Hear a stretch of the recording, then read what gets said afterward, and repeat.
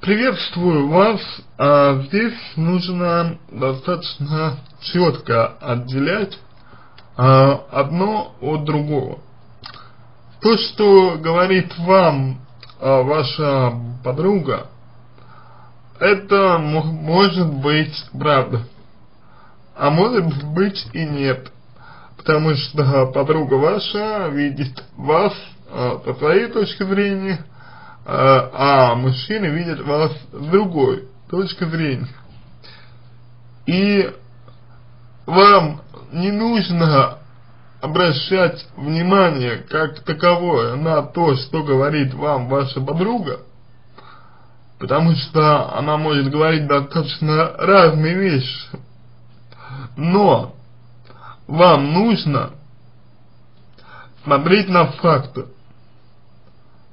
А они, эти факты таковы, что вам 30 лет, а мужчины не хотят на вас э, жениться. И вот здесь кроется определенная особенность вашего, э, ну скажем так, э, поведения, поведения, вашего позиционирования себя как женщины по отношению к мужчинам. А, тут нужно обязательно оговориться, что для вас важно понимать, какой вы хотите быть женщиной для мужчины.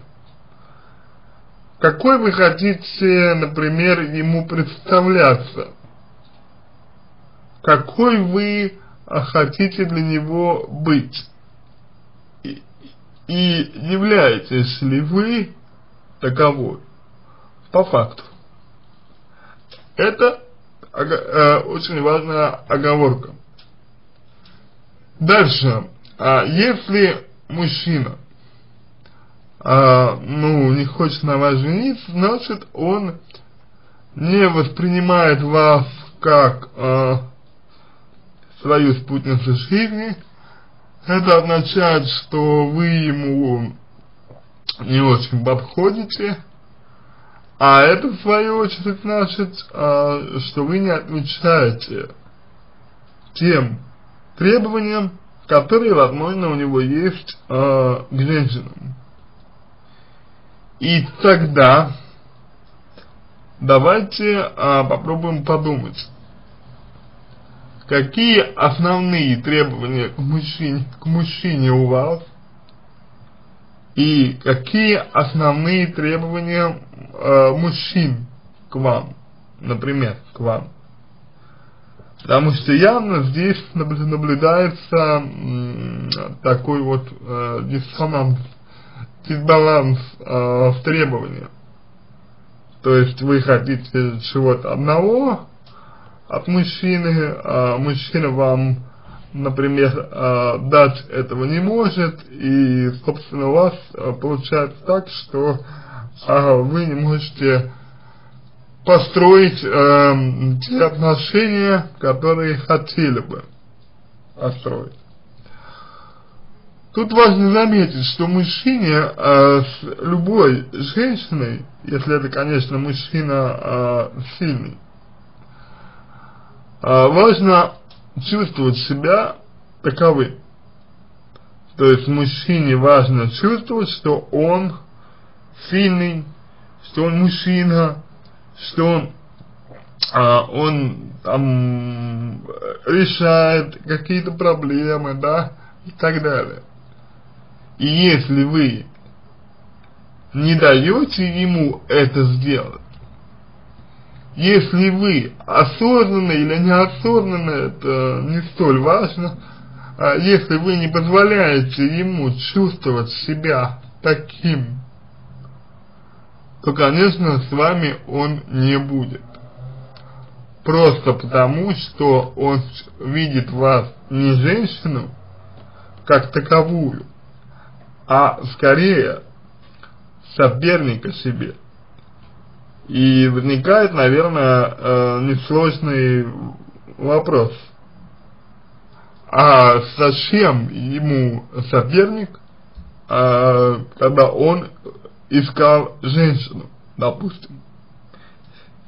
И тогда к вам э, будет такая рекомендация.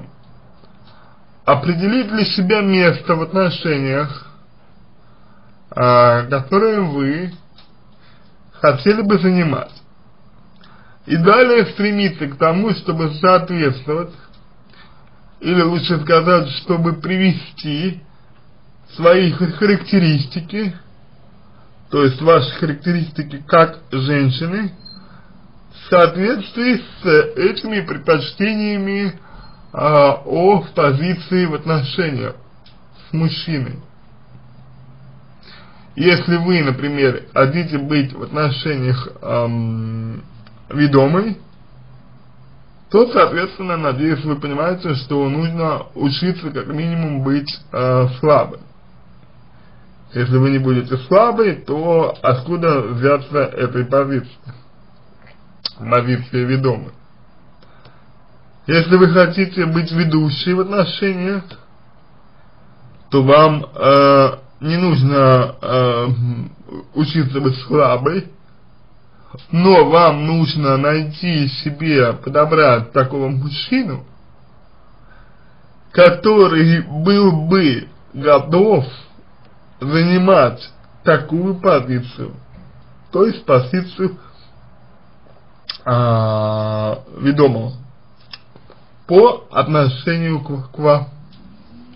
И если если такого мужчину вы найдете,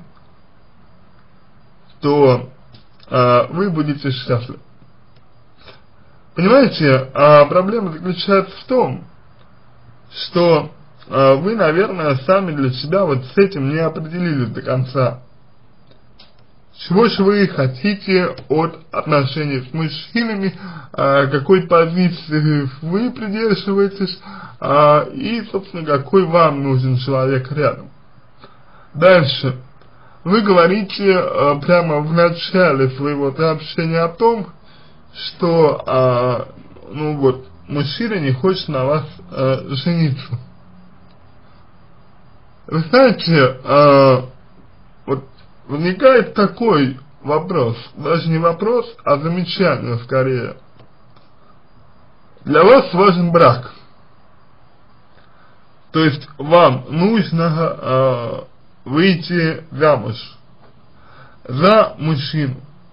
Ну, понятно, за подходящего мужчину, понятно, за того мужчину, который бы вам ага, понравился бы и так далее, это все, безусловно, ясно, но вы хотите выйти замуж.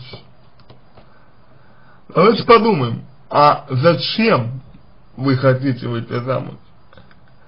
Для чего вам а, выходить замуж? Что даст вам вот это? То есть, а, что даст вам а, получения статуса замужней женщины. По вашему, опять же, мнению. Почему я об этом спрашиваю? А, дело в том, что когда вы говорите о том, что, а, что желаете выйти замуж, вы как бы тем самым не только стро, э, строите идеальный образ своего брака.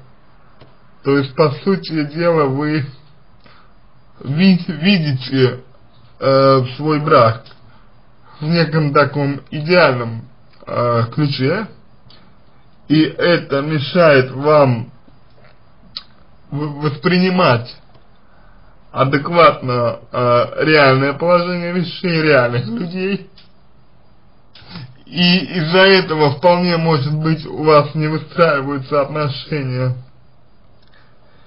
И, во-вторых, вы сами э, самого мужчину вы воспринимаете как средство э, для достижения своей цели. то есть э, как средство для обретения статуса замужней женщины.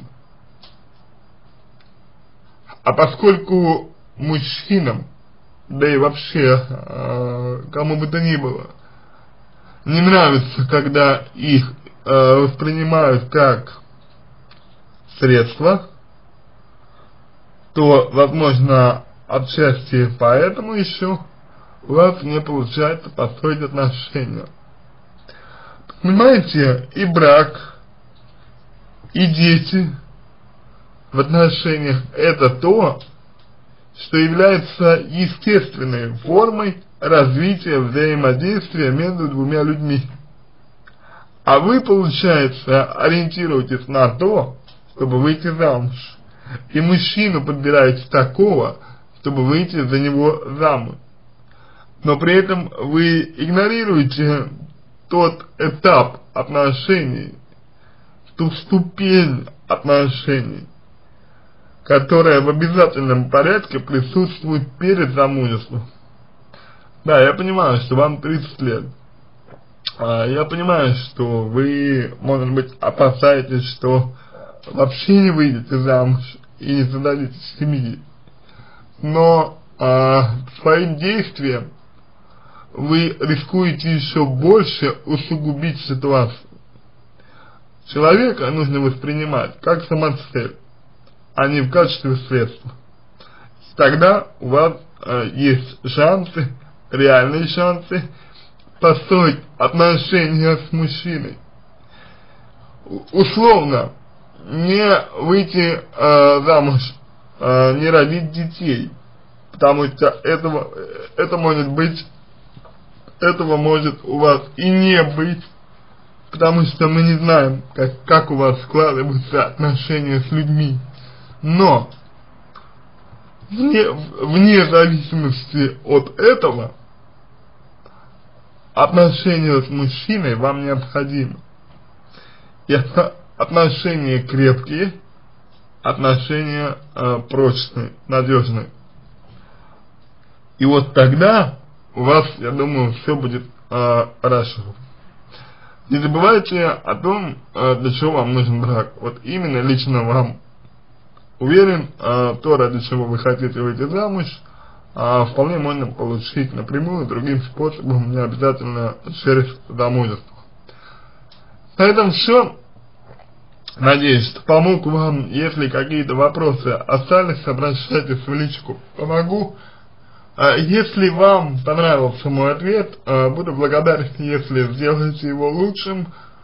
Желаю вам всего доброго и удачи!